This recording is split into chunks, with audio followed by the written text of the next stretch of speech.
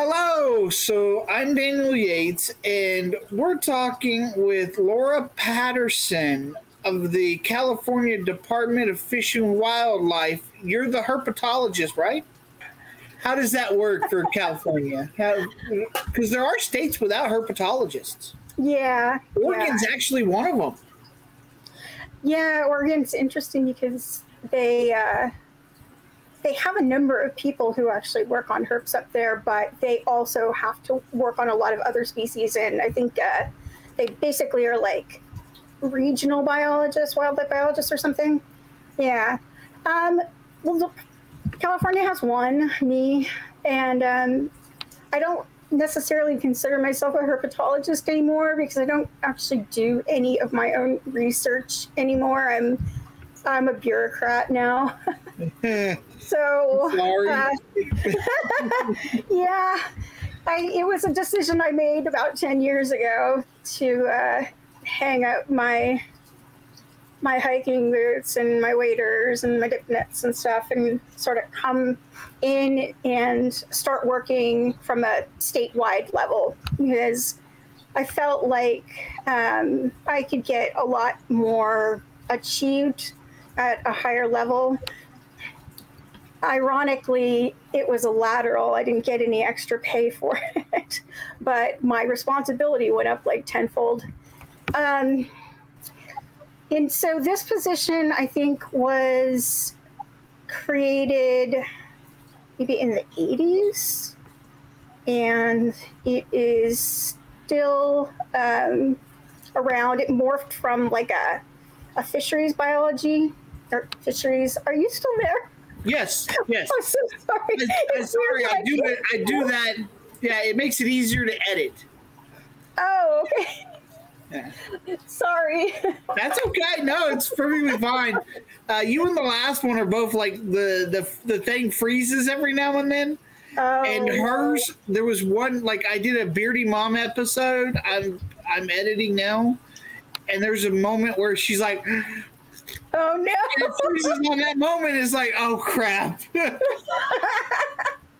okay, okay, I won't get all weirded out not being able to look at you. Oh, that's not, okay. It's weird looking at myself though. So. Oh my god, it is. and hearing yourself too. Yeah. Okay, I'll try not to get distracted by me. Um. Yeah, so I think that this might be the case in some other uh, states too, like Nevada, where they have a reptile biologist and then they have the amphibian biologist is also their fisheries biologist. And so this position that I'm in right now started out in the inland fisheries division and per fish and game code, amphibians are fish. So um, I think though the original state herpetologist who really was a herpetologist, um, John Brode, he also worked on um, reptiles and he was actually really involved in working on giant garter snakes, which are endemic to the Central Valley. And um, I did a fair amount of work on them too before coming to this job. And um, so, anyway, it's uh, it's a catch-all, I guess. I work on um, regulations. I am currently very late on getting a status review completed for um, a petition to list the Cascades frog as threatened or endangered under California's Endangered Species Act. Cool. Yeah. And it was the same um, university. It was with UCLA. With, uh, do you know who uh, Dr. Brad Shaffer is with UCLA? Oh, okay. I'll look him up. I'm sorry. I'll look him up though.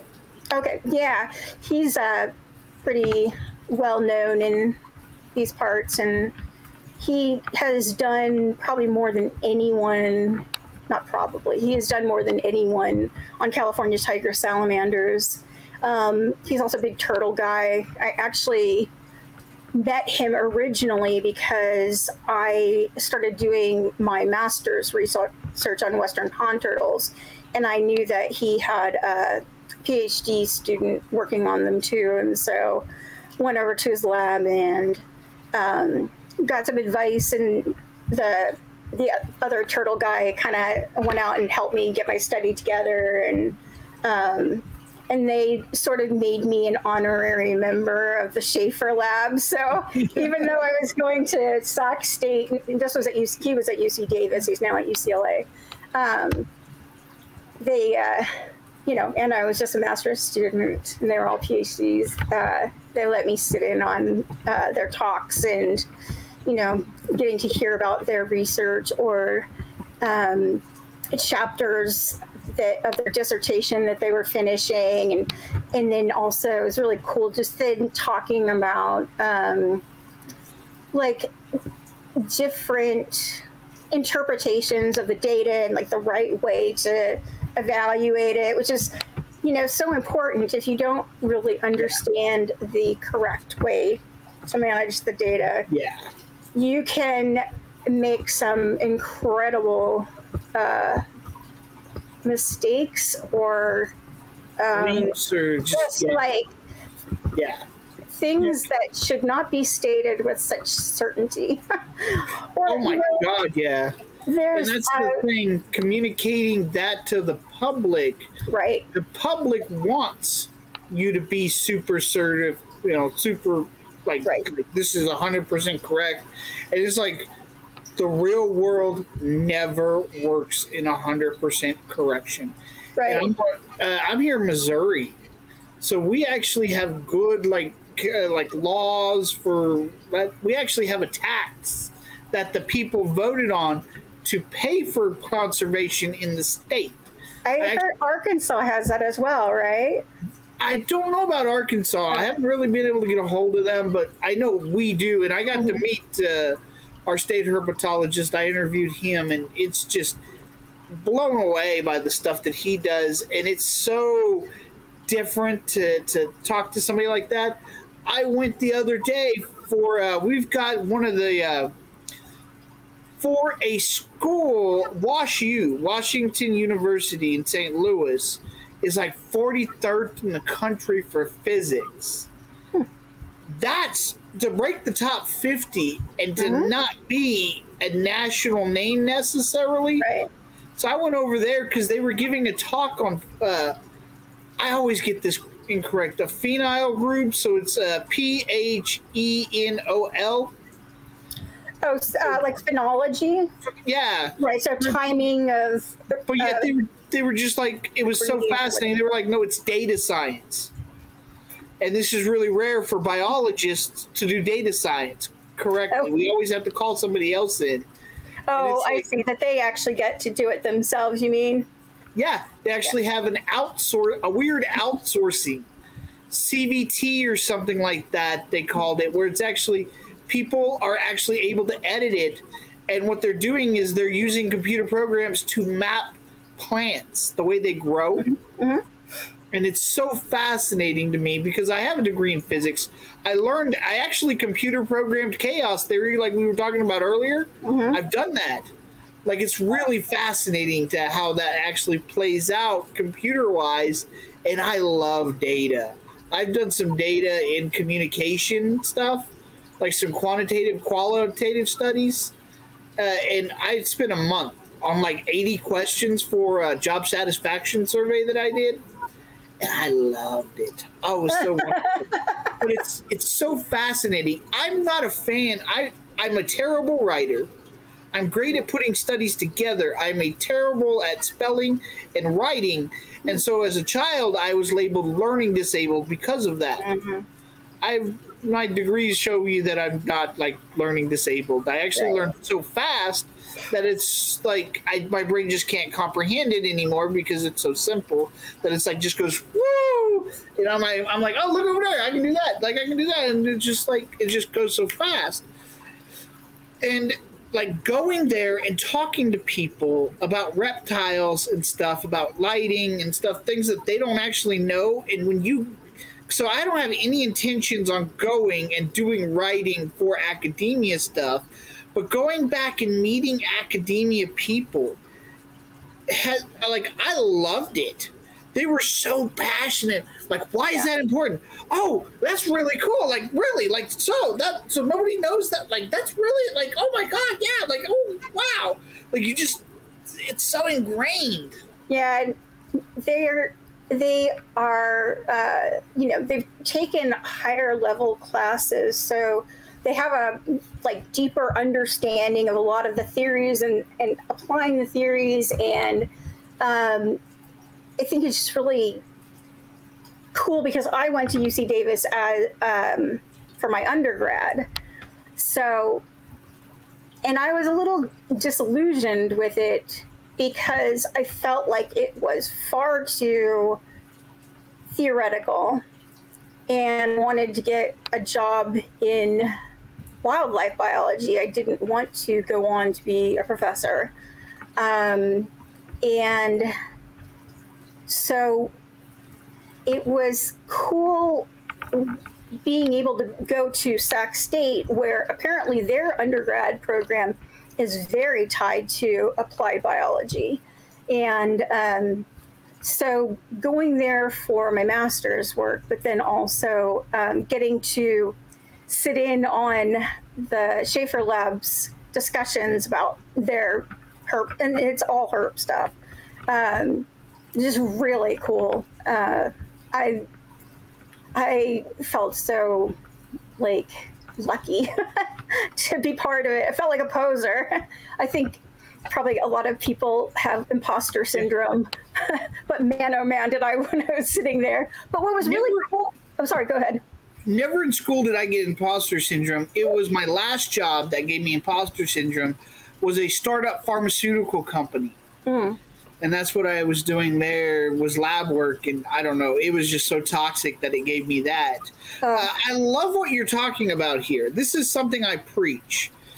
When you go for something, go for the next level up. Like if you want to, uh, there's a Virginia guy who does this. He's on NPR network thing, hmm. not NPR, MPR. Oh Okay. Um, Morelia Python Radio, he does some of their stuff. So it's kind of a niche thing. They they're not going to get too far besides breeders necessarily, but he actually runs a program for zookeeping in Virginia.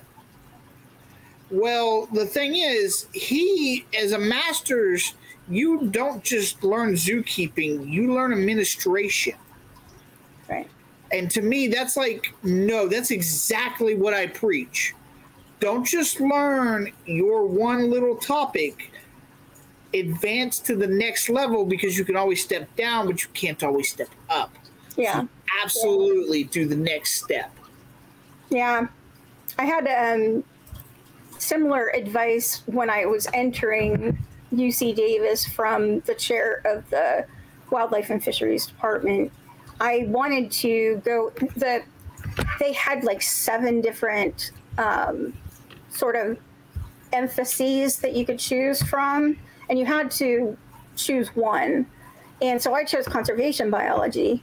And the chair basically said, You really um, should also go for wildlife ecology because the conservation biology curriculum didn't have any plant classes. And she was just like, if you want to get a job, you got to know the plants too.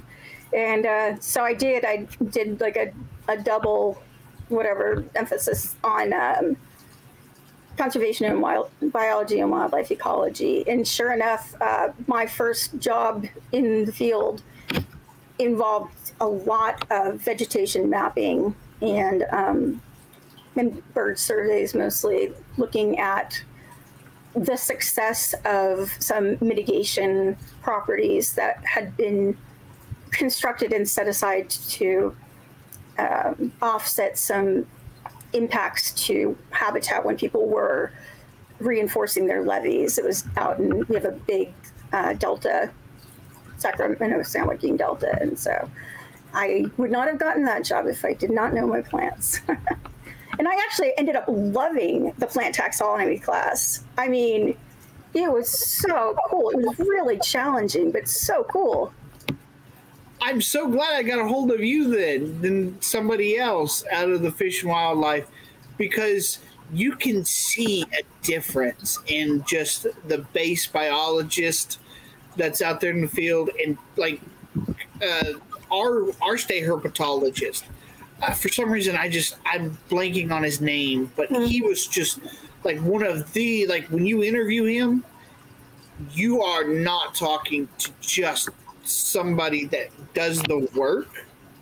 You are talking to somebody because that's what it feels like. It feels like most of these people in that do this kind of stuff are just here for the job and that makes sense like there's no there's no you're bad for that it's like no no it's a job it takes so much out of you so much effort you don't want to come home and be a keeper yourself there's right. so much to it but you you actually come with so much more experience and you could just see it in the way you talk about it like you're like no i automatically like this is the i was happy this this this is what this. So this is a very good lesson for people at home to understand that if you're going to do this, you don't just go get the basic degree. Right. You get something more, you get into the training. You will have to absolutely 100% do field work and get a master's.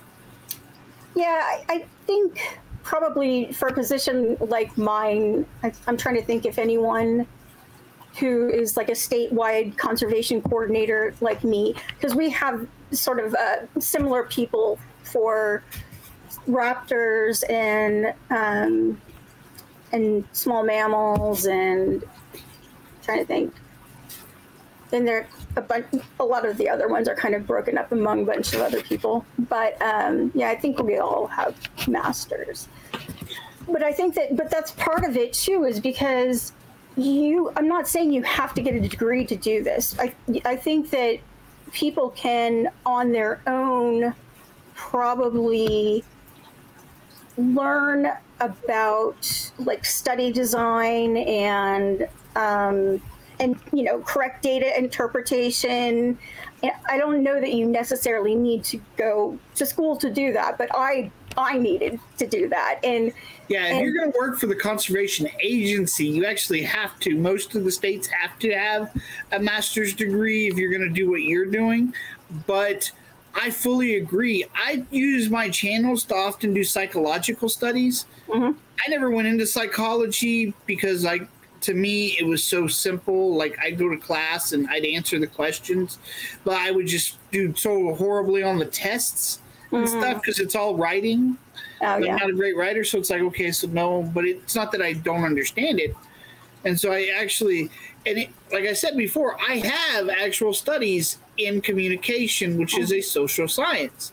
So me putting a study together, like there's people out there who go, well, you're not qualified because you don't have the degree. No, I'm more than qualified because I know how to put the study together it's not necessarily that I have the degree that matters. It's do you know how to use it? The difference between what what is it, chaos and science is writing it down or something like that. is that right? yeah, it's but I mean it's as simple I, as that. I think I'm still in the chaos mode with my status review. Such writer's block, it's awful. Oh God, I, I actually do understand that. I've I've thought about writing up my stuff and went, no, if I wrote it up, it would be such a horrible thing. And for some people, yeah, they want that validation. When I'm like, to me, it's like, no, just go to my channel and look at my stuff. If you don't want to put in that work, then I don't, I don't really have time. Like it's, it's literally there. Like you can put your own paperwork together off of my stuff. I don't care. it's, it's well, like, unfortunately, with our stuff, there's yes. definitely a hierarchy in, in how credible certain sources are when you are trying to put together supporting evidence for your conclusion. So, you know, like at the end of this report, I have to make a recommendation to the Fish and Game Commission, who's the body that actually makes the decision on whether or not to list the species. So I have to come up with the recommendation to list the species or not, and then whether it should be listed as threatened or endangered if I do think that it warrants protection. and of course, it's not just me. We we um, it goes through like multiple layers of internal and external peer review. So, um, but that is one of those things where a report that I get, and I get a lot of them because um, everyone who is doing research in California either gets a permit from me. I am the one who issues all of the permits for the amphibians and reptiles that are listed as threatened or endangered under the California Endangered Species Act.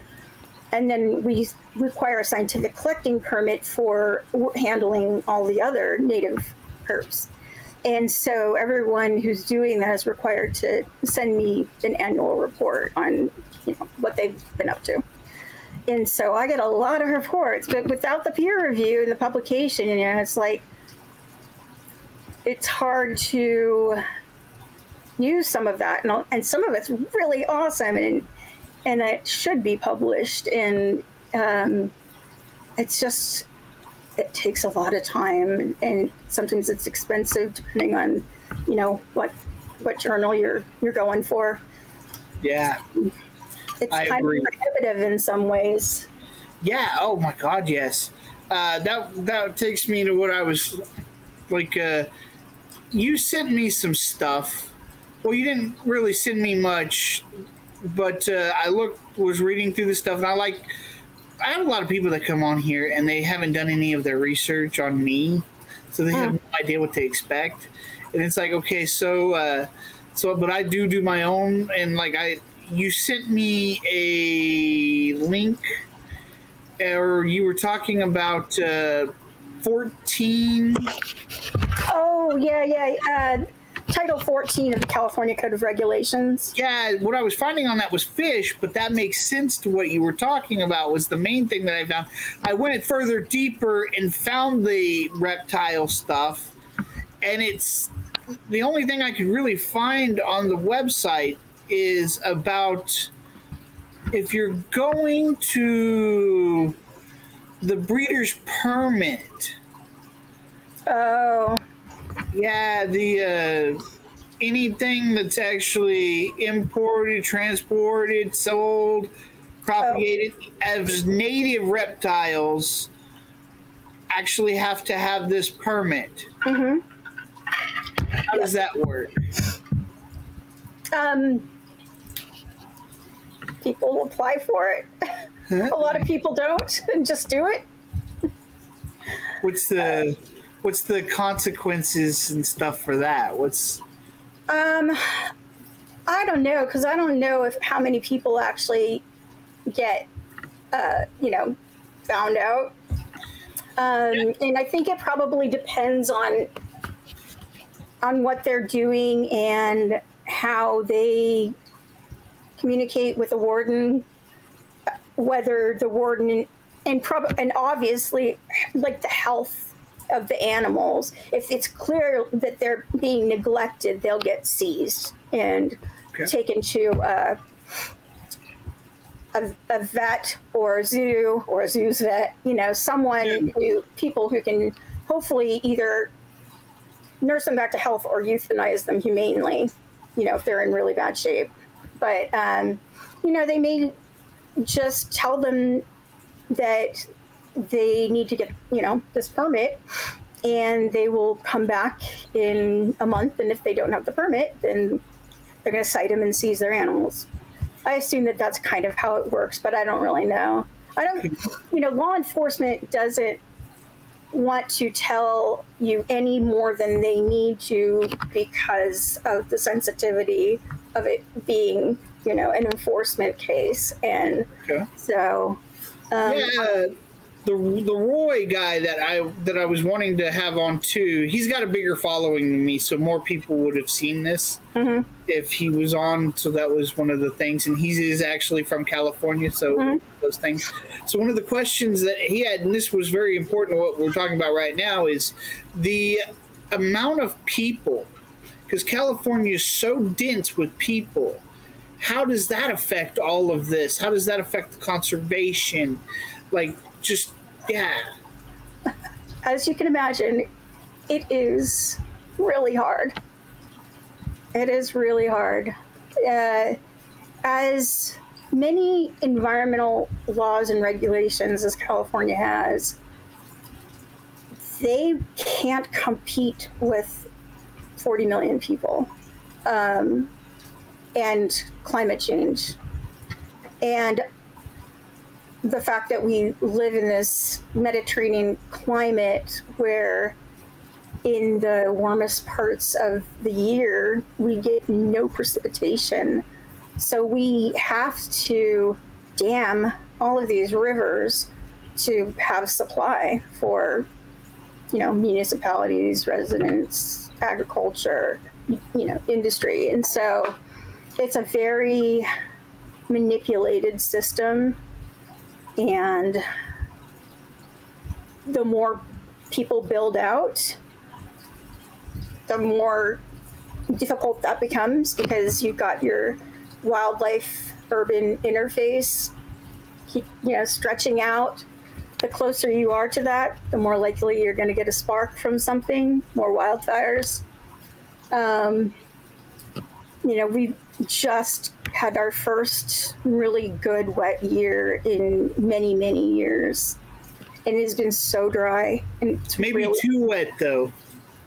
Yeah, it could be. Yes, exactly. Yeah. And that's part of the problem with climate change is that maybe the averages aren't going up that much. You know, they're going up slowly, but it's the variability that is really going up the severity and the length you know the duration of these droughts and then uh, interrupted by how many atmospheric rivers has California had this year? I mean, it's ridiculous. I didn't even know what. Oh, what, what was the other one? It's like a what's it called? A something bomb, like they're coming up with terms that don't sound so good for the amount of precipitation we're getting. no, there was there's a joke that I heard years ago. Since I'm in St. Louis, understand like last June or July we had a massive flood here. Oh yeah. Yeah, it was like it was it, it, it was horrible. On my ride to work, literally there was cars in the fields. Oh man. Where we would grow crops and stuff where there was trucks, actual SUVs that had the water up to their roof. Like you could only see the roof in like an inch of the actual windshield. That's scary. And it's like, yeah, no, and it's all like in one night. Yeah. There's a there's an old joke. It's because uh, I would I would holler at Roy when this stuff started happening with the rains and stuff. It's like, are you okay, man? Like I know you're in California. I know we don't know each other that well, but are you okay? Because I know this is a big thing. Like this is, and it's a, a old lady or a newspaper news lady went to a farm, and she's like, it, it, says here you had problems with your crop last year, but it says you got 29 inches of rain. right. And he goes, Yeah, I remember the night it happened. Yeah, exactly. And that's the thing. People don't understand when you're talking about climate change, it's not just about the heat. Right. The, the way the, the water lifts up changes where it will drop next. Yep. Mm-hmm. So the more you have it in an area and it's evaporating, the next time it's still dropping, but in more massive quantities in a place where it normally wouldn't drop. Right and we've got how many hundreds of miles of coastline too. So yeah, it's you know, yeah, I think very very uh,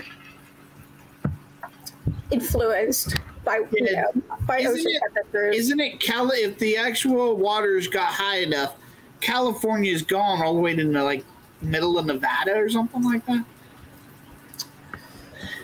I don't think that could happen. Be- well, maybe if it went around like the very northern part of the Sierra Nevada through Lassen and back down, but I don't think they're getting over like 10,000 foot peaks more. Yeah, I know the uh, the last ice age. My understanding was that it didn't. I don't think the, the ice age got halfway through uh, California the way it set, but the the mm. edge of it.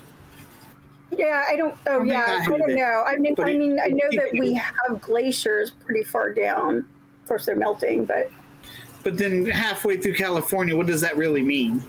I mean, it's, it's like it's Right. a long thing. Yeah. Yeah. it's a very yep So yeah kind of off the cusp, kind of a more funnier topic. Since we were talking about amphibians and the fish, Mhm. I heard a story once that you guys had to eventually put bees as fish. Yeah, so I mean, it's because the in Fish and Game Code that definition of fish has not just amphibians; it also has invertebrates. So it says like I think mollusks, invertebrates, amphibians, fish. I can't remember. It also has crustaceans, but anyway, I don't remember who petitioned the commission to list these four bumblebee species, but whoever it was was testing out whether or not the department could protect insects and vertebrates um, under the California Endangered Species Act.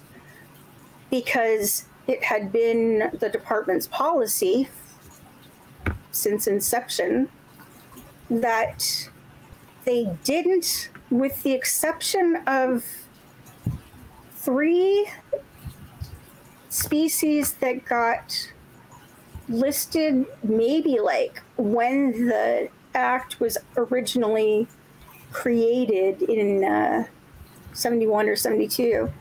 It was um, California freshwater shrimp, Shasta crayfish, and Trinity bristle snail or something like that.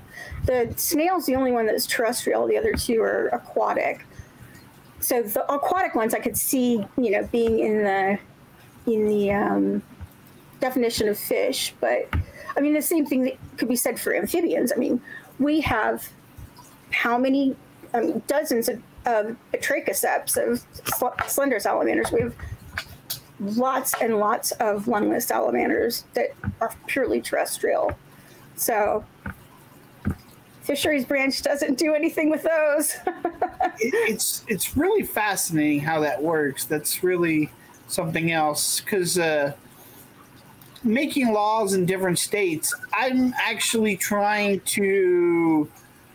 There, there's a couple of laws I think that should be passed because when you're talking about laws, bans don't usually work unless the public has already accepted the outcome. And that's if it if they haven't, then the ban is just like almost never going to work. Like you said, they just they just won't tell you, and it's mm-hmm. so hard to keep up with that. So so for me, it's okay. So the best thing to do is to put this little rock in your path and force you to have to think about going left or right around it. That's probably the best option. You're still going to go around it. You're just actually putting more thought into what the hell you're doing than just something just off the cusp. This is why thinking about a license program for anything, just to kind of make people think more. That's literally all it's supposed to do. It's not supposed to fix all the problems. It's Right. just supposed to correct some of the issues. Another thing is since some of the stuff that's happening around the country with reptiles and stuff, we uh, talk, I'm going to talk to a lawyer guy. Hopefully, I'll have him on the show sometime and talk about uh, t- uh, what it would really mean to change pets from property to something else. To actually like that, there there's actually something in Quebec, Canada, or not Quebec, uh, Columbia, British Columbia, and Canada. They're working something out like that. It would change the way we would see animal abuse and all sorts of. like they would have more rights than they do right now. Is that Yeah, oh, okay? Uh, yeah, and it wouldn't just be, you know, you just you trade like if a, a couple got divorced, then they would go okay. So the dog, I would pay you fifty dollars for the dog, and I would get to keep it. Whereas now it's okay. The judge can go okay. So you're going to go live on a farm, and I'm going to go live in a high-rise apartment. That dog needs to go to the farm.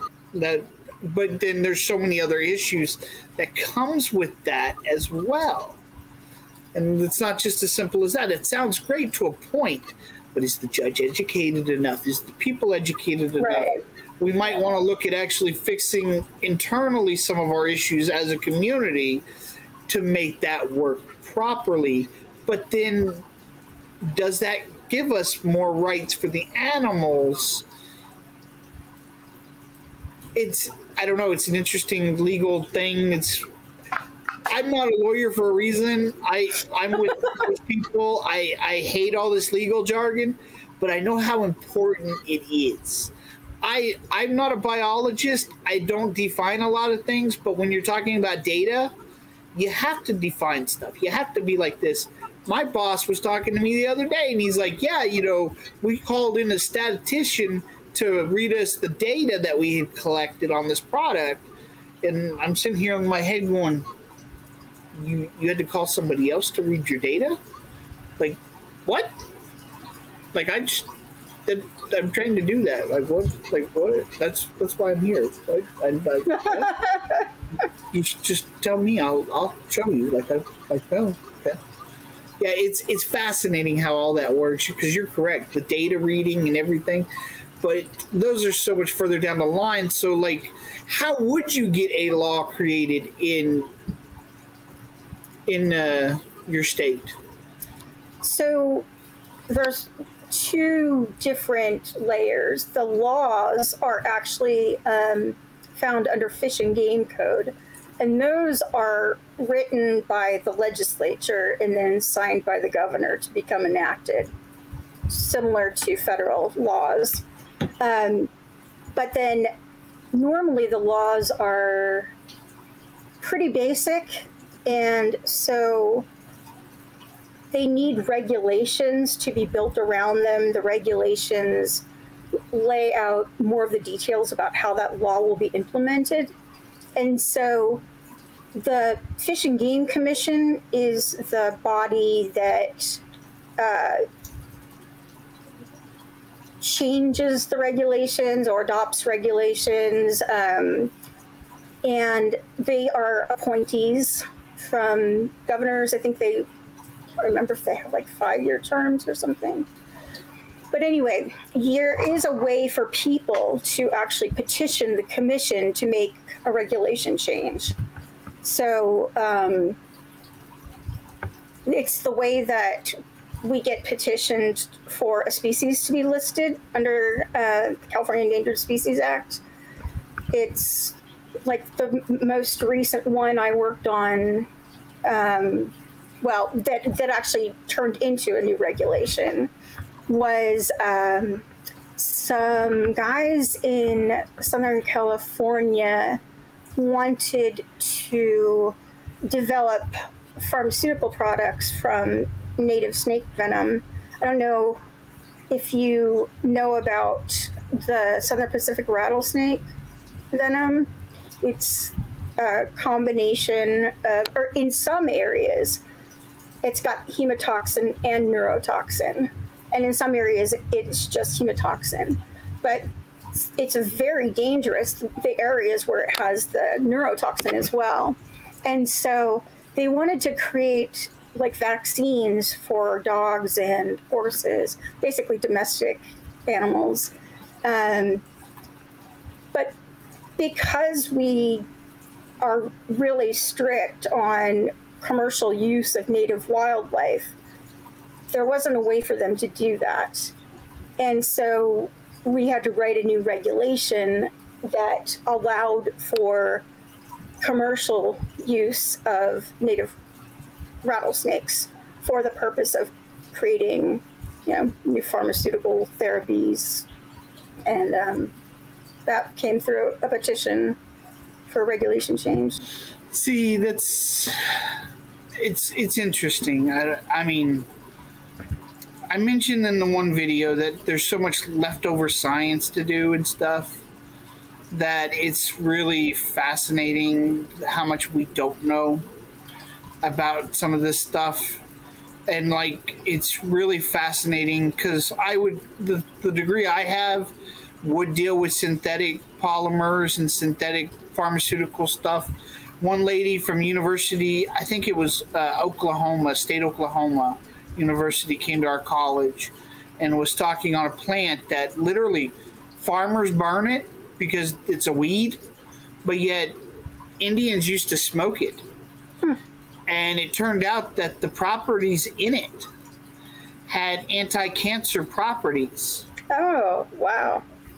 But when you look at the molecule, you'd be like this and their synthetic version of the molecule was like this. Oh, wow.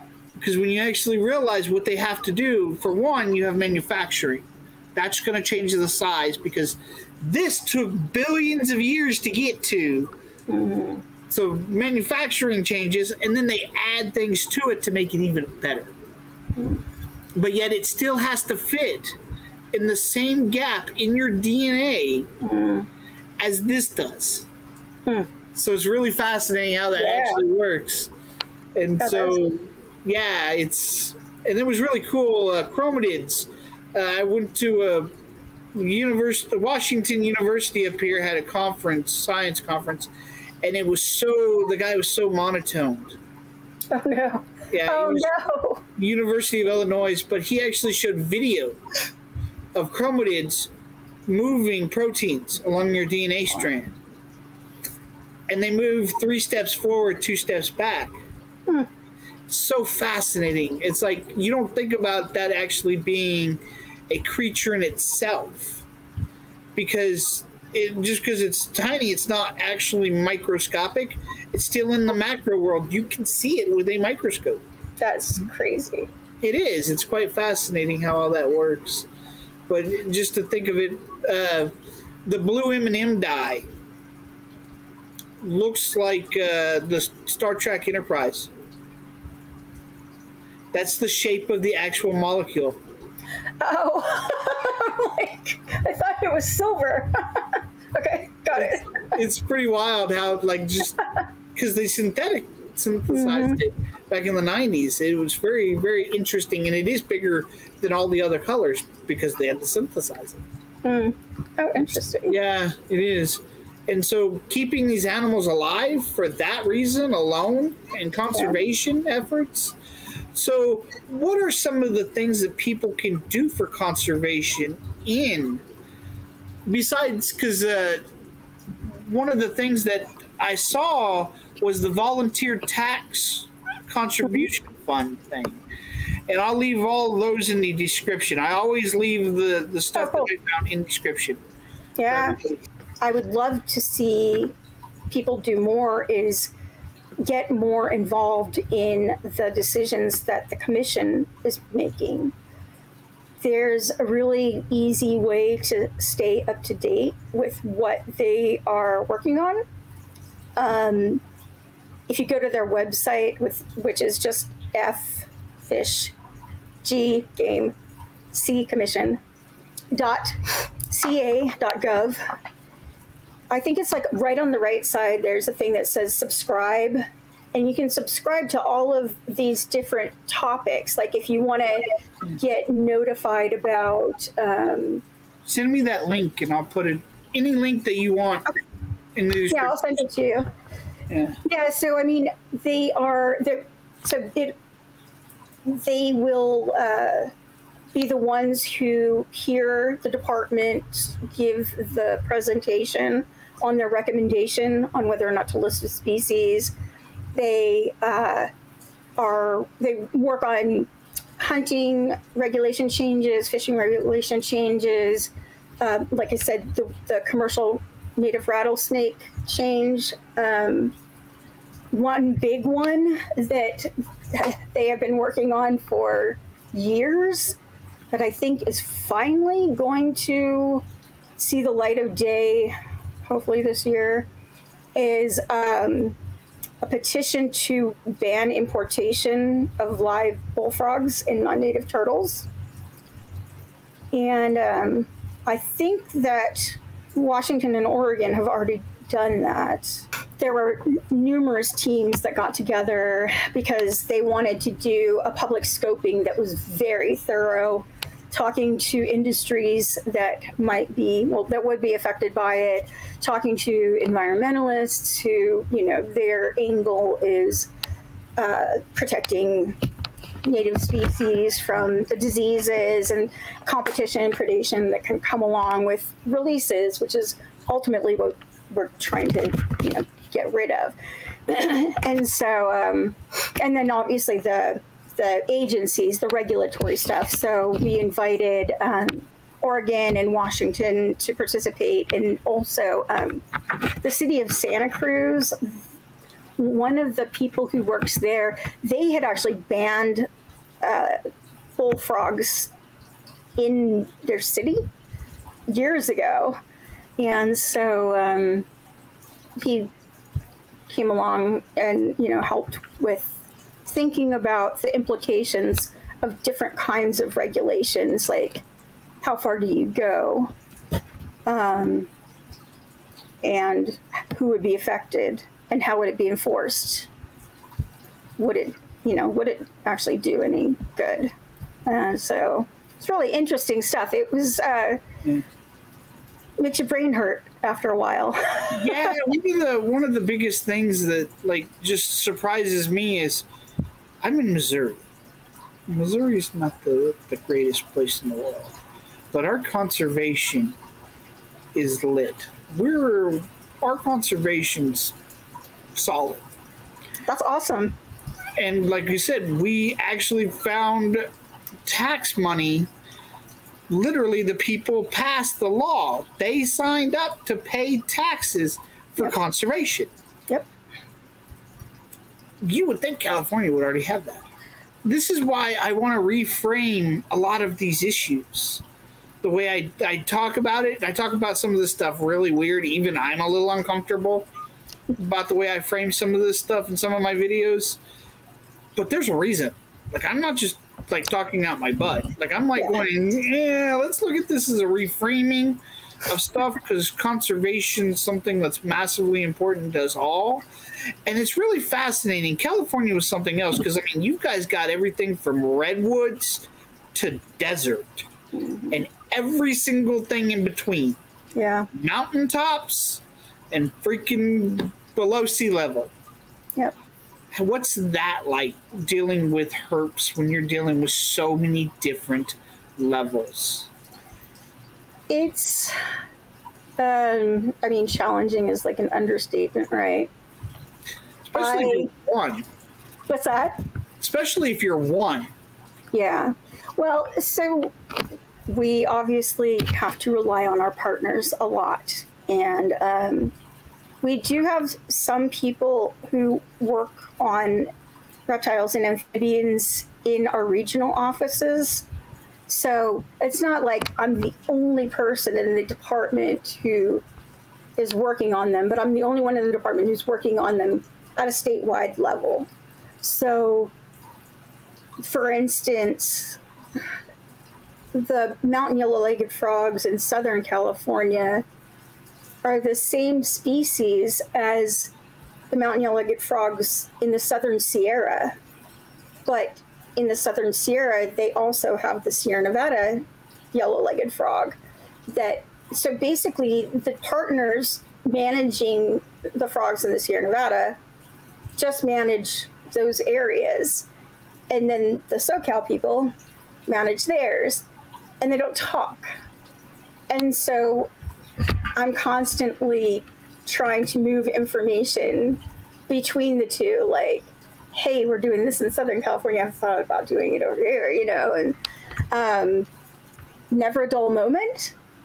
But it's also one of those things where I get burnt sometimes because I want to do it all and I can't. And it's really hard for me to prioritize which species I'm going to work on. There are so many species that have been neglected, understudied, and the, there, and the reason why is I don't have any partners. I can't. Is there any way the public could help? Because I know a lot of states, at least, have websites or phone numbers to call that if you found a herb or something It's just to at least identify it and map it. At least that. I mean, Yeah. you, what do you guys have? Anything like that? Yeah, so that's actually something I should mention is uh, this is not for necessarily live animals to document them, but um, we do have a mortality reporting website, and um, I think that that's really important for people to know about because we're very worried about the new disease coming in. We have, I think, like, you know, three major ports San Francisco, LA, and San Diego. And it just seems like Bsal is probably going to get here eventually, you know, and so we need people to be looking out for sick animals, you know, This- amphibians. This this is going to be a clip. This is absolutely something. There's so many people out there that think that pet keepers releasing animals is the number one danger. And like I actually preach about quarantining your animals and doing things like that and how to deal with that. Like you're better off not having substrate, even if it's an animal that buries itself during quarantine, because you can keep it actually sanitary and it's actually less dangerous in the long run it, when you throw it away because most people aren't going to use bio bags Right. but you're talking about the importers you're talking about the actual bays where these animals may sit on a dock Yeah. for a freaking month Well, maybe. I don't know if they'll be there that long, but I mean, it is, you know, they're, it'll come in one way or another. I mean, we're pretty sure that, well, actually, I don't know if we know that BD came in on bullfrogs, but I think there's pretty strong evidence that that is the case. Um, because it's when they basically ate up all of the California red legged frogs, which is our biggest ranid, well, our, our biggest frog, totally. And, he, and um, they just started importing bullfrogs. And so you can kind of like map a, the spread of uh, chytrid across the landscape from sort of these areas that had lots of bullfrog farms or markets like around San Francisco. Um, so anyway, it's just one of those things where I would love for more people to know about the you know mortality reporting, and we also work um, with the National Wildlife Health Center in Madison, Wisconsin. I think it's uh, run by USGS, and so they're really great when we have like someone just found some California tiger salamander larvae that looked nasty. They had um, like blisters on them and like really red raw skin, and um, the biologist who found them thinks that might be ranavirus, which I have never seen ranavirus in California. I'm sure it occurs here, but in all of the work that I did with amphibians, I never saw it. I don't read, I, like, no one has said ranavirus. And so I wonder if that's a new thing. And speaking of new things, we got our first hits of snake fungal disease in 2019. And uh, yeah, so um, my colleague in the, our wildlife health lab, she's the non game veterinarian, Dr. Deana Clifford. She and I put together a grant, federal money, of course, to do surveillance throughout California to see how widespread snake fungal disease is. And fortunately, it doesn't seem very widespread. We've only found, I think, one more area than we knew about, and that's uh, in Bay Area. I, I left the camera on me i i'm way past my bedtime I'm sorry. no, no, you're fine. No, this is great. No, no, the look on my face should tell the audience how important this actually is. This is not a face of somebody who's just going, oh, "What do you say?" I'm. I'm going, "No, what? Like this is important stuff." We're Yeah. just, I'm just now getting to the point of because I don't keep snakes. Yeah, But I'm just now figuring out that there is actually home tests for mm-hmm. some of the actual common, massively dangerous diseases that snakes get that people will often have mm-hmm. in big collections because they don't do their own due diligence and do the work to put that in there because it's extra money. So you could be getting a diseased animal that, and so there's a lot of this stuff here. So if that's actually in an industry where there's money being changed hands, when you're talking about underfunded, yeah. It, I mean, just imagine how much is actually slipping through the cracks so actually mapping the amount of that are dying may actually be helpful data when you have that sort of problem. And yeah. I never thought about the actual importing of them coming through the dock systems of California. Mm-hmm. Yeah. Well, I mean, obviously, I don't think that they're being they're not being released right from there, but no, you don't have to. But but I mean, yeah, they're they're getting into other people's hands who decide that they don't want to keep them anymore, but they don't want to kill them or they don't want to give them away, so they just release them. I mean, even I mean, even looking at it as okay, so you bring in a group of it, and they the majority have a disease. Mm-hmm. Then how long does that disease sit on a surface? how fast does that disease spread from that surface? It's guaranteed that that thing has air holes. Otherwise, that person's yeah. going to lose their whole stock. So, yeah. therefore, the disease can get out of it.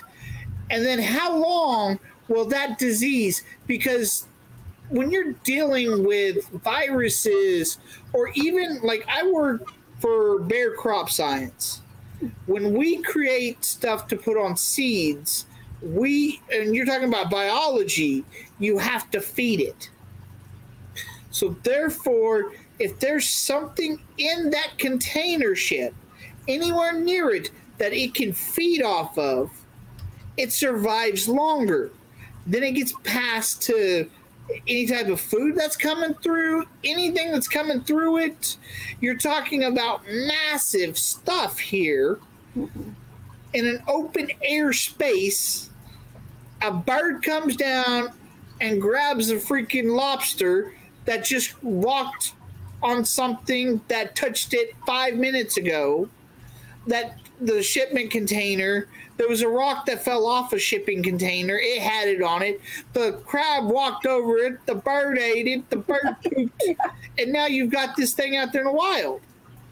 It sounds far fetched to, to go through that many systems, and you're probably going to have something in that system that stops it eventually, but life finds a way, right? I mean, yeah, right. I mean, the the whole yeah, like you know, a major premise of invasion ecology is propagule pressure, right? So it may be that the likelihood of something that like what you just described is really minute but then you look at the number of animals that are coming in. Like, I'm pretty sure California imports like 2 million bullfrogs a year. So there are lots of opportunities for those to get out. And not even the scenario that you described where, you know, it's something getting on a bird's foot and moving around, which can happen.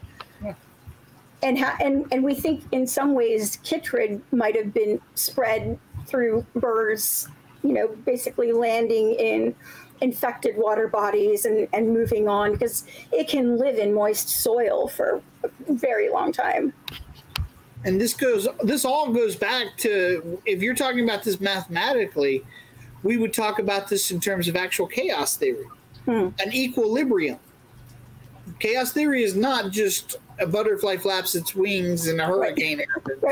It's no, there's actual equilibrium. Everything has to come to an equilibrium. And that's the other part of invasiveness is when does it stop being invasive and it becomes part of the ecological system? Yeah, that I don't. Yeah, that's. yeah, We haven't, as far as I know, we have not gotten there in California. Um, I mean, when you look at humans, we could just say that about us. Like, absolutely, 100%. Yeah. I think, uh, well, particularly European Americans, right? Um, I think uh, may happen is that, well, I mean, I think what's already happening is we have to choose our battles. I am in constant triage mode because there's so much going on. I have to like reevaluate my my queue like every day because so much is going on. And so basically, for a lot of these introduced invasive species, we can't do anything about them. They're there. I mean, the amount of effort it would take to make a dent and then maintain that is beyond our capacity. And so I don't know if we would want to define them as naturalized. Um, but I mean, they are. We'd never start treating them as native species, but it might be the case, well, would be the case, I think, that we would probably never do a full blown slider eradication anywhere near an urban or suburban center. Number one, it wouldn't take people will keep continue, you know, keep releasing their sliders. But also, can you imagine the public outcry? You're killing people's pets, you know, like they don't keep them anymore, but we that was can just actually our worst imagine that. nightmare, you know? We we actually can't imagine that. Uh, I don't know if I actually want to talk about this. Oh. It's a very touchy topic. What's happened in Florida? Oh, The with the uh, the, the uh, pythons. Uh-huh. the the killing of that uh, boa and all that shit. I hear people that don't even keep reptiles, and when I talk to them about it, they're like, "Yeah, I heard about that." Like, I, "Oh yeah, no." Like it's it's a lot more mainstream than people think, Sure. and it's like there's an outcry. Like they're like, "No, we want somebody's head for this." Ugh. Like somebody. I don't know. I mean, I yeah, I, I understand where they're coming from, but yeah. that and that is goes back to pass to actually at least having a conversation about changing pets to away from property is actually a valid conversation right now to have to see where that would go wrong or where that would go right. What benefits would that be? What negatives could that be? How could we get that to where it would actually work properly in the favor of the animals instead of just using it as a law against people? It, how do you do how do you shift all that? This is where talking to the lawyers where it's going to be very nice to have that and at least have that conversation started. Yeah. There's um see when i talk about shit it's i want to talk about 10 years from now. Everybody else can be mad right now but if we don't have a plan for 10 years down the road do we really have anything to talk about after we're done? Because once you get what you want you're just leaving everything to its own devices and you don't really have a leg to stand on anymore yeah. I mean, I there will always be work to do in in wildlife conservation for sure. oh my god yeah So now uh, do you keep anything personally no, i didn't never think so have. I, but when I was like seven or eight, someone came to our school with a boa, and um, I was like, man, that thing that's really cool. And um, so the guy's like, anyone want to hold it? And all the kids were like, uh, I want to hold it. And so uh, I held, it was like five feet. I was probably three feet, you know? And um, I was so like in love with it. I asked Santa for a boa. Santa didn't bring me a boa. Were my parents right because oh my god, I would not have been uh, equipped to take care of that animal the way that it needed to. And I'm sure they did not want to take care of a boa. So, uh, yeah. And then I, I realized I, I ended up with an aquarium with some decent, like, you know, kind of not high end fish or whatever. Yeah. And I was so bad about like getting the chemistry right. And my fish were committing suicide. They were like jumping out of the tank. And I'm like, okay, yeah, I'm, I'm good with cats. Cats are really easy. So that's all I got. Yeah. I, I kill plants. I cannot keep anything oh. but a cat alive. So I, am a brilliant scientist and I have trouble keeping plants alive sometimes. and it's like I literally work in the agricultural industry. And it's like, are you like, I, I'm just flabbergasted and it's like I, I literally I even sit here and I even break it down in my head. It's like okay, so I need to know the pH of this, and we need to work on the water of this, and like this, and like this, and it's like ah, but it, damn it, I can't even keep a pothos alive. I know. I just you know what I had to admit that there are things I am just really not good at. Yeah. And and that's okay exactly. I, I can't focus on the fact that I'm, you know, bad at keeping plants and a number of other things. I'm going to focus on the things that I'm pretty good at and uh, keep doing those and hopefully stay good at them. And, and they bring me joy. Like I love my job. It just sort of kills me sometimes. Oh yeah, the stress that you have to be under, and just the the constant and like you said, you had to have communication skills when there's just no way mentally you should have communication skills because the hours. And yeah, it's it's it's a struggle. So having other people learn communication skills is some of the best things that you could have. It's like having people understand where you're coming from. This is why I've had quite a few people herpetologists from different states send me the answers to the questions, and I'm like, that's not what you wanted. yeah, that's there's a reason why I want you to show your face. Yeah. And that is to humanize you as an right. individual. I mean, it's like, yeah, you show well, that you know, face. I, I wanted to say something about the communication thing because um, my mom was a nurse on a, a closed psych ward. And while she was working there, she ended up meeting my stepdad, who's a clinical psychologist. And so I got psychologized all the time as a teenager. Laura, why did you feel the need to break curfew? You know?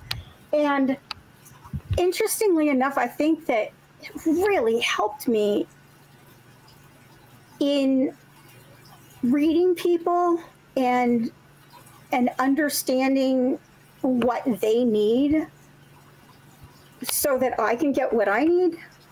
You know, like do they need validation? Do they need help? Um, what how do we come to a solution together? And I really do like I hated it when I was young, but now I'm like yeah. it was so great that they made me think about like I'm like I'm a teenager, but you know, but it doesn't mean that all teenagers are rebellious or have to you know yeah. be that way. so way. Many adults. I mean, especially once you pass that 30, most of them are set in their ways, and it's no, you need to meet me where I'm at. Wait a second, wait a second here, wait a second. I need to meet you where you're at. I've put more time and effort than you have even though you don't know me, I've still done more than you. Why are you telling me I have to meet you? I I so wish that I could do that, but yeah, um, it's really. But I but can't. As an actual person that has to communicate with the public, you can't just look at somebody and go, "Shut the hell up." I know more than you. Like, what is it? The the guy from Parks and Rec when he walks through the Home Depot and the guy walks up to him and goes, "Can you need some stop? I know more than you."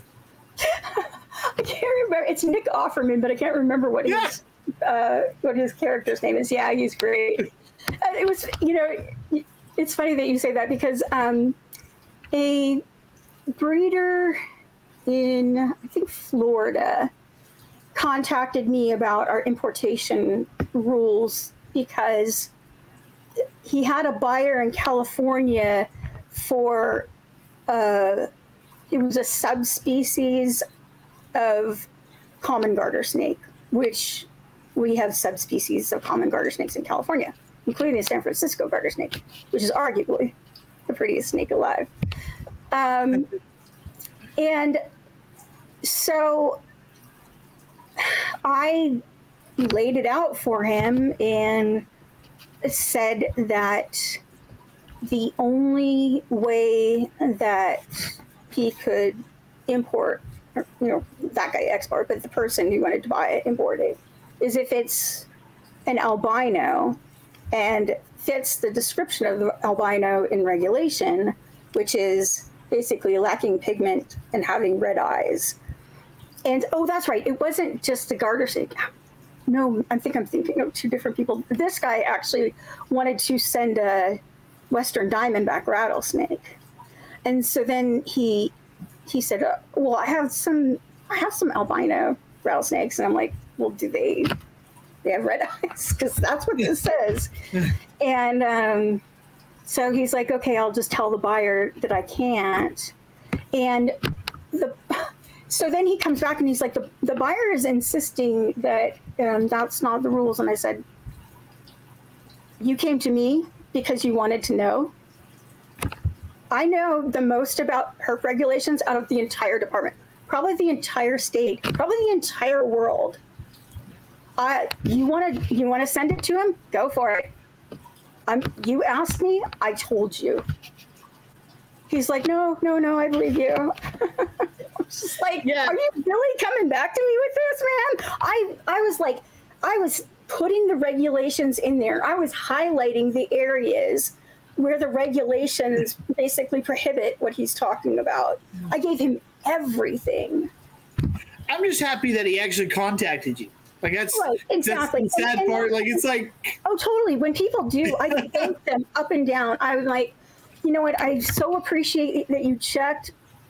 I hate that I have to deliver this message to you. yeah, and, and You you, know? did something there that I don't think enough people listen to. The fact that you your the way memory works is every time you look at it in your head, it changes.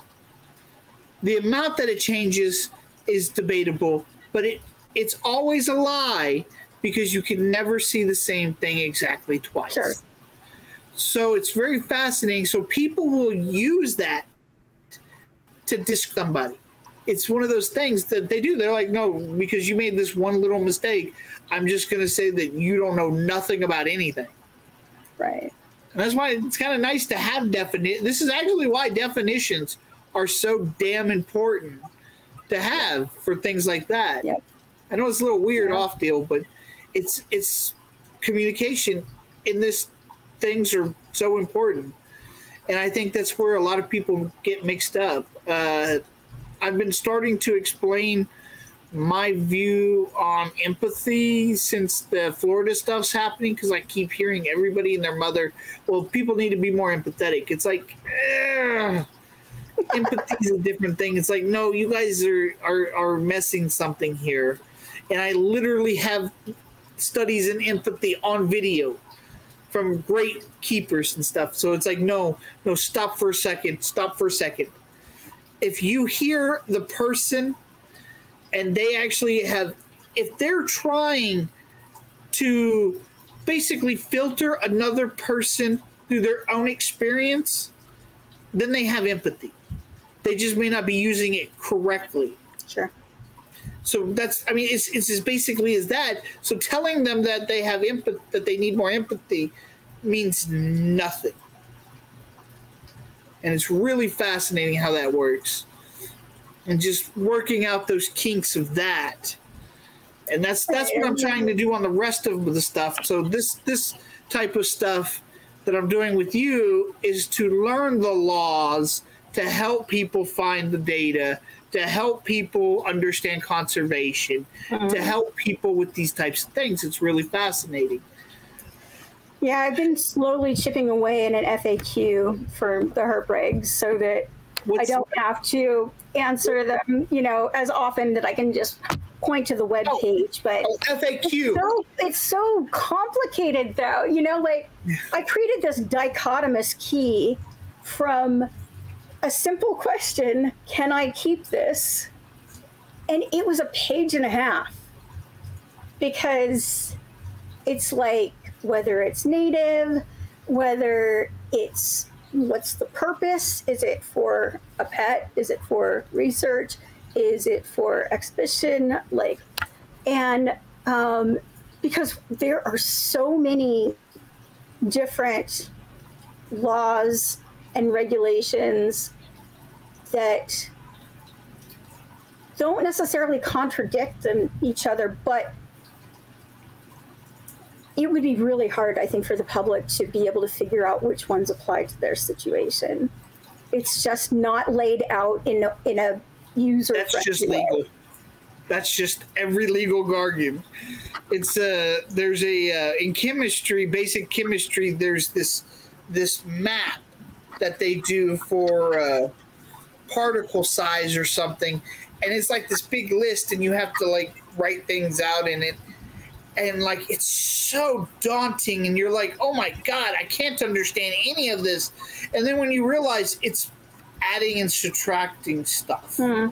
but it's just the way they wrote it up yes. is so it's like it's it's job security that's i mean taxes are the exact same thing it's it's just job security the way they wrote it up. It's like this stuff is not that oh, complicated. Um, yeah. And yeah. So when you talk about legal jargon, it's so complicated. Well, and so I think there might be a federal law now, and California just got it too, where as government agencies, we are supposed to write in plain language now even our regulations are supposed to be written in plain language. Plain language apparently is like an eighth grade comprehension level. There's clearly no way that so we can do that with our highly technical. Missouri and Arkansas wouldn't be able to read it. I mean, I um, but but but it, it is really one of those things where it's hard when you've been writing at a technical level for so long to use more commonly used words that mean the same thing.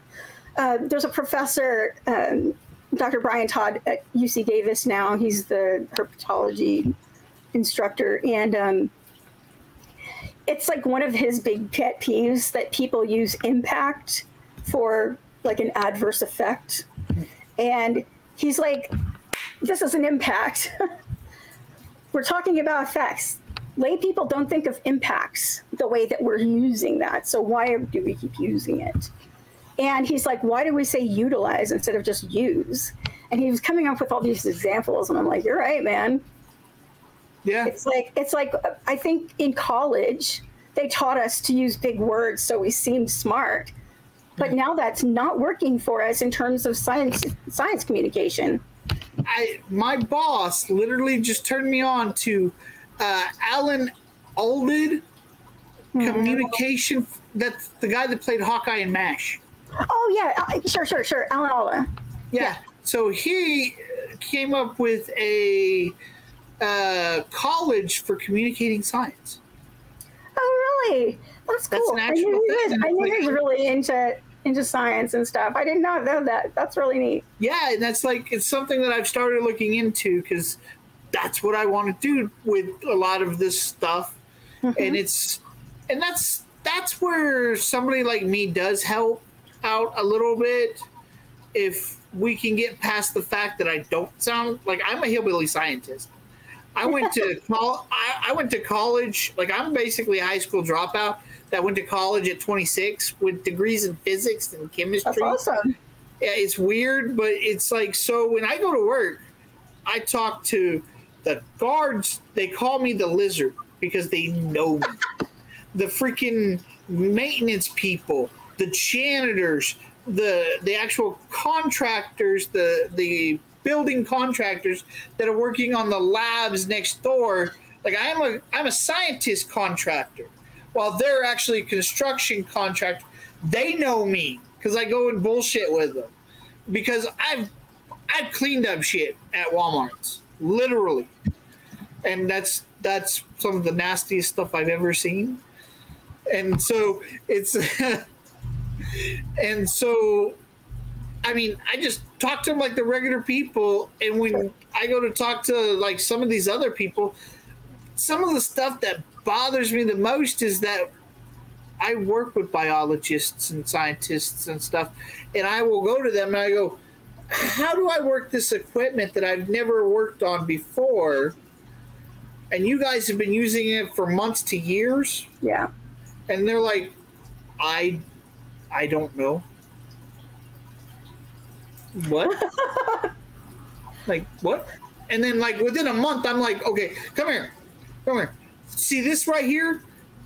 This shows you that there's a problem, and this is where I'm finding the problem to be is at this little screw right here. And so it's like, so when you see this like this, oh wow, I didn't know that. How long have you been using this machine? Longer than me. And it's like, yeah, that's that's kind of scary. yeah, it's a God. What was it? The one of the best jokes I've heard was the more I meet pre meds, the less I trust doctors. yeah, I see it now. I feel like that's unfair. Pre-meds are, you know, they're young. They're young. They're just figuring things out. They made my life hell in college, though. Like oh my god! with my degree, I still had to take um, like systems classes. So uh, systemic physiology was a five-unit class, and it was all pre-meds in there, and some other you know science people like me, wildlife biology, and I could not remember all of this stuff. It was so much. It was like, how many of these uh, endocrine systems are triggered if you stub your toe or something? You know, like it's just, it was so wild. I, I, that was my worst class. I got a C plus. I had to take organic chemistry three times. Oh no! I would have passed it the first time if we would have gotten any credit because every every multiple choice test the answer was worth five and if it was a list i got it backwards What do you mean? like if it was a list on the multiple choice question if if, if it went left to right i somehow went right to left Oh, interesting. Well, maybe. I mean, have you been um, evaluated for like dyslexia or anything? I don't have dyslexia. My brain's just weird. It's Okay. just weird. I just I could go into days. I literally have videos on just the weird shit. But literally, if if it was a molecule, and there was the correct molecule was A, and B was like one piece off. Literally, I went to the professor a couple times. I'm like, no, I got the right answer because it says the intermediate. Oh, He goes, No, that's not the intermediate I was wanting, but you're correct. That is an intermediate. But that's not the intermediate I was. But yet, you either get zero or five. So, the, all the pre meds, you know what? The average, because that was a class that you have to have as a pre med. The average for the class was like a 68 on the test. That's how hard those tests were. I And it- hate professors. I don't hate Well. I I hate, I hate classes that the average is like a D or an F. I took a, a biochem class that was like that. It's demoralizing. It really is. test, I got People like a would cry. or something, and that was like an A if you grade, graded on a curve. Like, what? That's, Oh. how are we learning? You're He clearly didn't even, he didn't even grade it on a curve. Yeah, he didn't even grade it on a curve. And so it was really fascinating to see the the pre meds do so poorly. But I kind of understood it. It was a small college, and that was one of the biggest classes of people they had. And so he didn't have help to grade. Mm. So he didn't have really time to do that. Because it's like if, if you'd have just gave me like two points every time I got one that was the identical thing, but just one little piece off, I would have passed the very first test. Like I would have passed it the very first time. Yeah. Because it's I don't find That's the subject that hard. Oh, I did. And then I made a mistake. I thought that I had to take two quarters of organic chemistry, and it turned out I only needed to do one. So I took a second quarter. Oh that I god. didn't even need to take. Oh. oh Oh, man, I'm telling you, it's amazing I made it out alive. yeah. This has been awesome. I really appreciate this. Hopefully you've had fun. Yeah, definitely. Yeah, I, I'm I, glad it finally worked out. I'm sorry I was having so many problems. and I appreciate you for it. I really do. I you have led us to an actual better understanding of California and what's actually going on and things we actually need to understand and push forward. So just thank you. I love it when I learn shit. People don't understand that. I'm like, no, I want you to communicate uh, with me. I I, I want you to teach me something. I want to. yeah, learning is if you're if you're not curious and you don't want to learn, I feel like that's sad. Yeah, it's just I love learning new things. Like you just taught me about how the heat can mess with Wi-Fi wavelengths. yeah. That is super cool. uh, I mean, it's not cool was- exactly, but it's cool to know So- about it. I seen a meme earlier, like it was like yesterday, the day before, and somebody wrote a comment that was so just mind blowingly, just like yes. It the meme was something along the lines of asking for help or hmm. something, and he goes, "Okay, asking for help." means that you want to be better, that you want to be the best, that you want to grow, that you are actually moving forward and you are being successful. You want to be successful. Living in a world where you believe that you can't ask for help means you just want to be minute, just you want to be moderate. You don't want to be anything special. You don't want to grow. You don't want to. I think that I think that that can be the case, but I think that Yeah. there's also another case where some people feel very ashamed for not knowing. Yeah. And so it took me until I was probably in my mid 30s to be able to say, I don't know, in a professional context. You know, I always felt like I should have the answers. And if I didn't know like, I would never make anything up, but I would just sort of like start putting things together and, and kind of like thinking about what it might be. But it's like, you know, it's sort of informed speculation, but it's still speculation. And now I'm just like, you know what? I'm not really sure, but like, let's look this up. You know, let's sort of Yeah. put some stuff together. You know, I tell people, you want to know how you want to know how you can tell I'm intelligent. Like uh, I was at a show once, and there was a kid that just kept saying the word venomous, venomous, venomous, venomous, venomous, venomous, venomous, venomous, and it's like I I almost flipped out on him, and I'm like, okay, stop with the venomous. We don't care. That is not the most important thing. See that python that's wrapped around your finger right now? He's not moving. He's experiencing the world from your finger. That that nonverbal right there is so cool.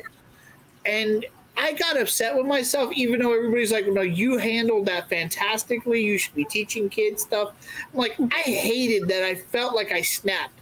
You know, the kid had to have noticed that a little bit, but he still stopped and he took note of what I was doing.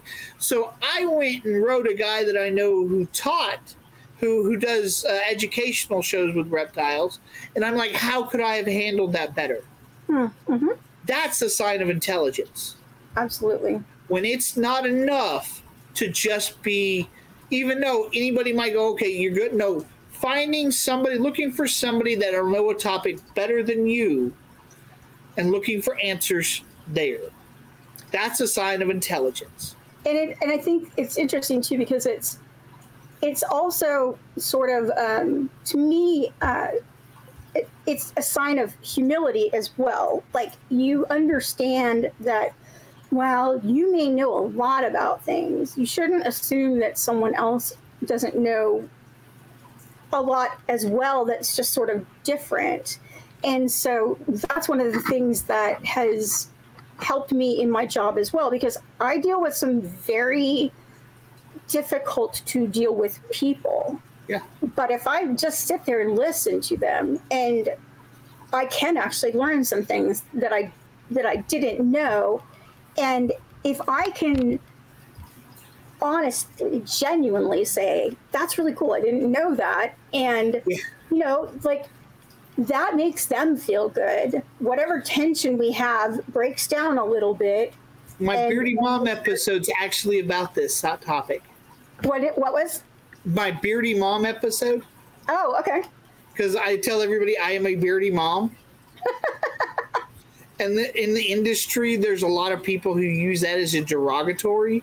oh really It's a beardy mom. And so it's like, no, when you ask a beardy mom what they have learned from being a beardy mom, you might actually learn something. And if you don't, you can teach them something. So if you actually feel that it's a bad thing, like if they put clothes on reptiles, I'm not a fan of that myself, but I don't do it. But other people do. But if you just ask them what they've learned because they own a beardy, it changes everything. Yeah. Like the excitement that this girl has like you can just see that. It's really fascinating. And i've been getting on to people now for using the word common sense. Oh yeah. Because it's it's it's just a word that you use as a placeholder to say everybody should know what i know right that's the way it's used and it's like no you got to get over that the only one thing in this world that i have found that you can say is possibly common sense is pooping poopy poopy. if you if you really think about it, you think any age, any person should have an understanding of pooping. Right. Yes. Well, like the bodily function. So there's not a whole lot to it. I would say the, uh, you know, people could argue wiping after you poop is common sense. But That's why I don't uh, use wiping, but yet because there's people who don't wipe, you don't have to wipe. and now a lot of people don't pick up bidets. You know, I, I, I will recommend a bidet all day long. It takes a couple of hours to get used to it, but it's it's fantastic. I want one so bad. You can get them to where they just fit on your toilet Yeah, but I want a fancy one. for about forty dollars. That does that does multiple things. I'll have to look into it. absolutely must. Yeah. And it takes it. I, I get used to things quicker than most do, so it took me about three days to get used to it. But once you do it, for Yeah. once you do it for a couple weeks, it does become normal. Mhm. Once you go back to wiping, it's like it's barbaric. no. Someone likened it to like if you needed to get dog poo off of your shoe, would you use water or paper? Yes, I'm like, that is a very good point. and the freshness that you feel, and when you're sick. Oh my god! Oh, And I bet because I try to use like uh, you know, the, the earthy toilet paper, and I'll tell you that stuff hurts after bet. uh, a few wipes. It, Yeah. I was like, I, I actually read a review for. I'm not going to name the brand; that would be too mean. But It's- I was like, this stuff is like sandpaper on my Do you butthole. do you watch South Park? I have watched. I haven't watched any recently. There's an episode about the toilet paper industry, and he goes and buys this fancy bidet, and he's fighting like, no, this actually saves us conservation, and this saves us money, saves us time, it saves all these different things having a fancy toilet. In the episode, he gets shot because of the toilet paper cartel. So- at the end of the episode, he's like, "No, no, no, no, no! Toilet paper's great. Let's move on, Stan. Let's move on, Stan." It's like, Okay, fair enough. so so let's let's be careful now. yeah. You know what's sad is like there's so much truth in so many things that they say on that show. Yes, I mean, yeah. You know is, why we have it the is not far from that, especially yeah. with you know all the dark money in politics that can oh. you know. Do you know why we have the quote flushable wipes? Uh, They're not actually flushable, but your car right. keys are flushable. So legally, you can flush it, kind of thing. It's like that. It's because their, their profits plateaued. They were still making a profit, but it plateaued. Oh, so they needed something new and shiny. Yeah, yeah. No, it's it's one of those things. But I've had a wonderful time. Is there anything else you want to tell people to kind of let them know? In California, in particular, water conservation is very important. So I would say, to the extent that you can conserve water, like uh, if it's yellow, let it mellow, kind of. Um, changing your landscape. I mean, honestly, I have not xeriscaped my yard and I have not watered it since 2014. And interestingly, a lot of my neighbors are now, now like letting their yards go brown in the summer as well. So I feel a little bit better about it. Um, but I think also, oh, what I was going to say about the Fish and Game Commission is um, right. Like, so I, I think obviously the more people participate in our government, the better things are going to be.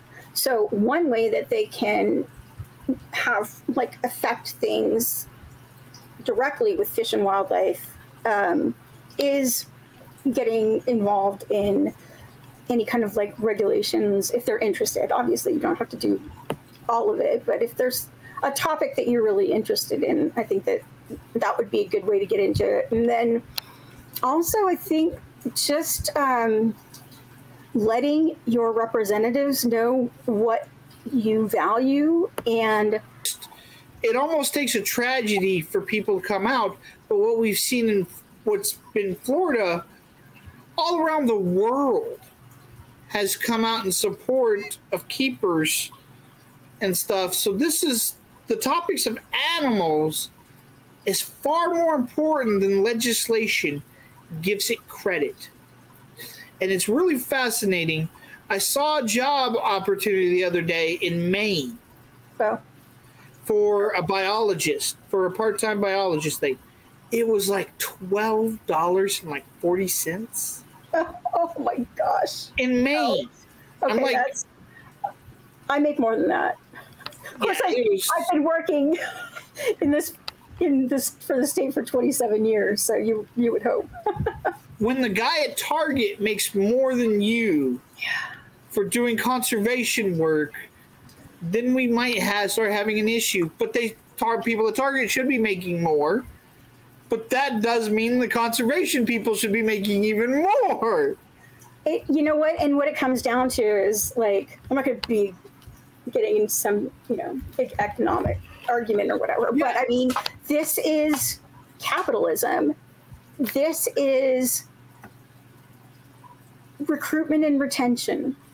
And because people are really passionate about doing this job, we stick with it while we're beat up and underpaid, overworked, because we care so much about it and they know that and they take advantage of it. And so often in this industry, we see fish and wildlife being villainized when it's like this yeah. is the one of the biggest reasons I have to have people on to show that you are a human, that you actually give a shit. Oh yeah. And it's like, yes, this is this is some of the most important things with what I do right here is to show that you guys are actually did this for a reason because you actually care. Oh yeah, for sure and I don't. I haven't had a single person on who doesn't care, even yeah. if they're not even a herpetologist and they're just the fish and wildlife person. but they do burn out just like anybody else. Yeah. They often don't take their work home because it's a job. It becomes a job. It becomes bureaucratic. And we all, none of us want to be bureaucrats. So when you look at a bureaucrat, and this is something that I, I nobody watched that video, but it's it's normal people do some of the most horrendous shit. And the most one of the more important things than empathy is who you spend time with. So if you're spending time with somebody with people that do not care, Mm. And you're not pushing them to care, then you're being led to not care. Yeah. It's- Who it's, you uh, it's hard sometimes because it's hard to always have something sort of like positive to talk about because so much of what I do it's like such a, a downer, you know, constantly responding to like uh, tadpoles of an endangered frog or something stranded because of a drought. Uh, Western pond turtles, same thing, like always trying to figure out if we have the capacity to rescue them. And if we do, where do we even put them? I mean, what do we do with that? And That's, so, okay. that's the other question that I'm missing.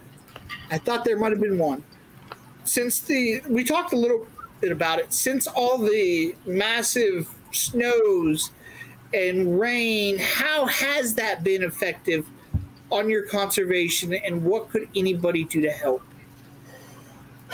Well, so that's you know that's one of the reasons I I mentioned um, uh, water conservation. The other thing is, as I mentioned, like as we keep moving our uh, development out into wildlands, we're going to come in conflict with more wildlife, and so I would urge. Do you know what NIMBY means? Have you heard NIMBY? No. It's an acronym for Not in My Backyard. Okay. And Californians are awful about this. It's And not happening in my backyard. It doesn't matter. And so there's actually a counter movement called YIMBY, yes, in my backyard. And so one of the things that you can do is encourage your local governments to infill and, you know, or, or raise buildings and then build taller ones and try to get more high density um, housing in areas so that we don't keep spreading out. Because I know people don't like seeing wildlife hurt or have to be shot, but that's exactly what happens. People hate it when our wardens have to go after bears or mountain lions or anything, you know? And it's like, well, don't leave the cat food out. That's another thing. Subsidize predators. Actually, one of the best things that you can do is secure your trash and not put food out for wildlife because raccoons will do a number on yes. They're so cute but deadly. Yes. So, you know, just try to have a you know a smaller footprint, you know, carbon, whatever, and also just kind of like be aware of unintended consequences of some of the things that you're doing. You might think, oh, I, you know, I'm I'm helping the wildlife because I'm feeding the raccoons. Well, those raccoons are going to go and eat like everything they can. It's not like they filled up on your kitty food. They're just going to have bigger litters and they're going to get bigger and live longer and they're still going to be eating everything else that they can get their hands on. Some of my thoughts on on the topic of some of the weather issues that California's having right now is the understanding that most national disasters don't just get fixed in a week. That's for sure. And I mean, so yeah, this, that's the other thing. I mean, I, I don't know if you the flooding that we had a year ago, we're still messing with that in St. Peter's now. Yeah, We're still trying to work on houses there. yeah, of course, and it's it, it is very expensive. It it would be so much more cost effective, efficient if we were proactive about building around how climate change is actually impacting affecting uh, our, our you know our infrastructure. Because one of one of the things that's going to be really really scary about the amount of precipitation that we had and it got warm so fast. So the snow melt is going to be really problematic. It, it might be good in some areas where we had wildfires and we didn't get enough rain to actually scour out all of the debris that had entered the, the pond, you know, it entered the streams. And so, like, pond turtles lost their habitat, frogs, salamanders.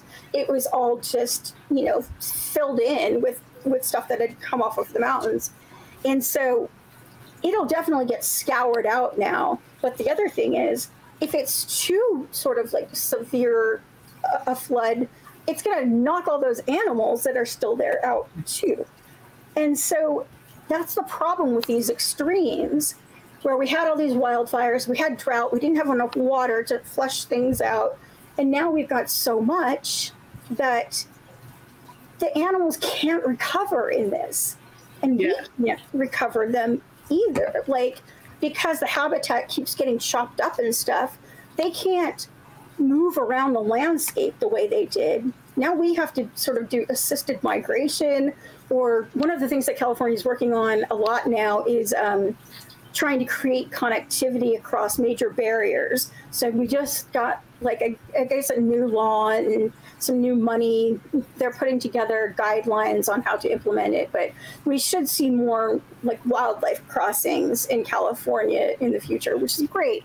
But at the same time, we also have to like be more thoughtful about where we're going to put roads and and try to really um, understand wildlife movement corridors and and if there are certain like migration routes or something and just avoid those you know instead of cutting this off because it's not only bad for wildlife it's bad for people when they hit the wildlife I just wanted.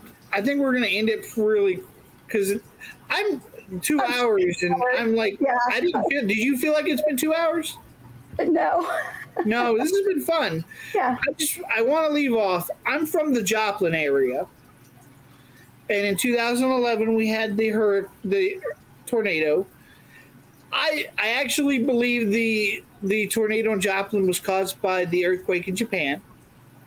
oh Really fascinating how that works. I love shock value, and then to bring something where people go, "Oh, oh, like what? Oh, oh, that actually makes sense." Oh, so yeah. if you stop the Earth, you get thousands of mile per hour wind everywhere at once. Hmm. The earthquake in Japan that year slowed the Earth down by 0.03 of a second. really It did. It was so big that Wow. it actually slowed the Earth down. uh-huh So, when you're talking about chaos theory, you talk about equilibrium. So, you think of it as a radio dial. And if you're moving along, you find a channel that has actual sound that's good, that's an equilibrium. Further you move, or you change the station, you start getting the static. Then you have to find the equilibrium again. That tornado season, right after that, everything seemed to be moved west and was increased. Joplin tornado was right at the end of that. We're used to getting F1s on the outskirts of Joplin and over towards Oklahoma. We were not used to getting an F5 in Joplin. So I believe the earthquake in Japan caused a tornado in Joplin because of the noise. The hurricane season right after that was normal. Hmm. because it found its equilibrium. Right. But the takeaway also here is that there was so many old houses and stuff in Joplin. Joplin was run down. Joplin Mhm. was not a place. After you get the big highway in Joplin, literally there was the, the Cars movie talked about it. That was the whole point of Cars. That I happened haven't, in I haven't seen it. Well, it's just the fact that the major highways went through and it Hmm. destroyed small towns. Mm-hmm. That that happened to Joplin. But now, because of that, they have new hospitals. They actually have a surgical college. Everybody got new houses because of insurance. It actually grew Joplin and brought in businesses Well, and cleaned good. up a lot of Joplin because of tragedy. Right. So in every tragedy we can. This is why we're hoping that the tragedy that happened to those pythons in Florida leads us in the future to actually increasing positivity. Yeah. Every tragedy is just a chance for a positive future. It's a nice way to look at things. Yeah. I think that's the best An opportunity for, for. I mean, it's, it's, it's forced change on you, but I guess it's Yeah. like you say, it's an opportunity. You can kind of choose the path in some ways. and that goes back to Mandy, right? Not in my backyard or whatever that is. Oh yeah, uh, Yeah. uh, Nim- NIMBYs. Mindy's, Mindy's. Yeah, it goes back to Mindy's. Not in my backyard. Well, once you have that tragedy, you're forced into your backyard. Yeah. Yeah, it's forced upon you. You don't get a choice. And so, Exactly, and that's why um, instead of just digging your heels in and obstructing what could be positive growth, smart growth, Yeah. be part of the solution. Yeah. You may end up getting more than you would by just not being part of the issue, and then you're going to get it forced upon you. Yeah. And so, being collaborative, being humble, listening to other people, understanding their needs, our needs, is the, I think the only way that we like survive as a species, Yeah. you know? Because if we just keep digging in and digging in, it's gonna get, you know, so much worse. And in like every category of life, right? Yeah. that's Yeah. exactly what's going to happen. And it, it really is. It's it's so with every tragedy, there's an opportunity, and let's hopefully this this tragedies that's happened in California. Hopefully, we can advance that into a positivity in some way. I definitely hope so. So, thank you so much for being on. Sure. This is actually wildly helpful, and it's been fun. Good. And these talks are things that we need because it's been so stressful with the stuff happening in Florida and Mhm. stuff. Even though I don't live there, like I'm trying to be part of it, and it's massively stressful. And these last couple of conversations I've had with people, the Beardy Mom episode and you, have just been wonderful. It's been taking away from that stress and positive stuff. So thank you so much. You're welcome. I'm glad we were able to make it happen. Oh yeah, I'm actually very happy. Like there was a minute there going, "Damn it, this isn't gonna happen tonight," because of the yeah, it's crap. Like ah, no, great. Thank you so much. You're Now I- welcome. I've got to pee. I've had to pee for like an hour. Okay. Have a good night. Have a good weekend. Thanks.